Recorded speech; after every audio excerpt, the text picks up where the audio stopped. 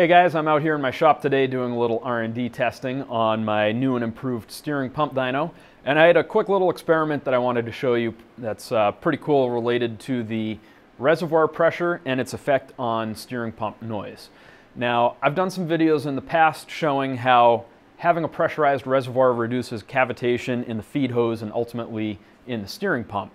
So I do recommend having a pressurized reservoir to reduce that effect. But before I get into the demo, I do want to caution that there is such thing as too much pressure. Above 20 psi or so, there's risk of uh, causing damage to the shaft seal in a steering pump. So I strongly discourage sealing your reservoir completely uh, by plugging a vent hole or putting on a solid cap because then you have no control over just how much pressure can build up. In this case, I'm going to be using this small uh, cooling system tester in order to build 0 to 10 psi in my Vortex reservoir. And that is feeding a large displacement high flow steering pump, which is being driven by a high speed hydraulic motor.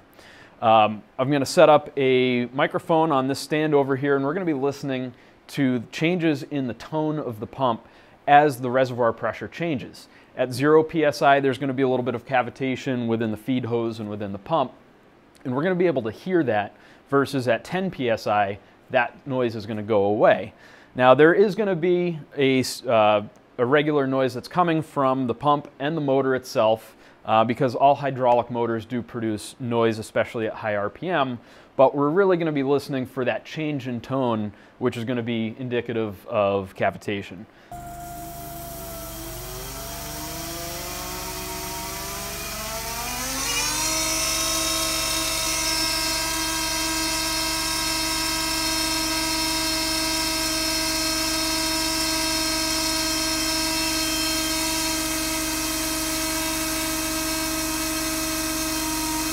Here is 10 psi reservoir pressure.